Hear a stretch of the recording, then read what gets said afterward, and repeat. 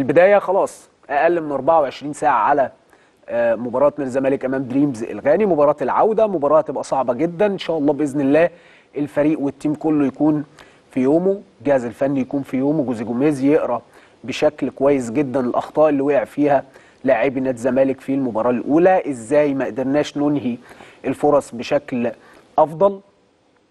آه، أمنياتنا مع كل اللاعبين إن شاء الله بإذن الله يعملوا اللي عليهم بكرة لأن المباراة فاصلة. هي أهم مباراة بالنسبة لنادي الزمالك في هذا الموسم.